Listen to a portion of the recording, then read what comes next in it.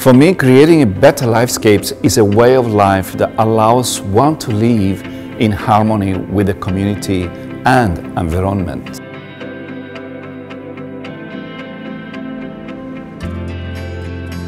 Heritage and culture go far beyond the history textbook.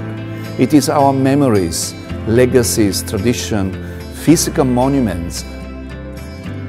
My vision is to develop a deep sense of care among my community and I encourage each of us to look beyond ourselves so that we can cultivate a society that cares for the disadvantaged, the environment, the preservation of heritage and culture